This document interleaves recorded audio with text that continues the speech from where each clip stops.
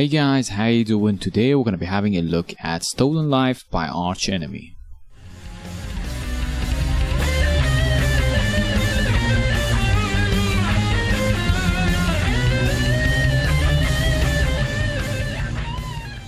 In this video, we're going to be having a look at all the riffs in the song as well as the solos and after the demonstration for each part there's going to be a slow step section for that part. Now the tuning for the song is going to be standard C tuning. Now that is standard E tuned down for half steps. So get yourself in tune. For those who are interested, I'm going to be putting up the tab files for the song in Guitar Pro and PDF formats, as well as a backing track for the outro solo, considering that is the longest solo in the song. All of that's going to be available on Patreon. So check that out. The link will be in the description below. You can support the channel and get some extra benefits. Now without further ado guys, let's get started.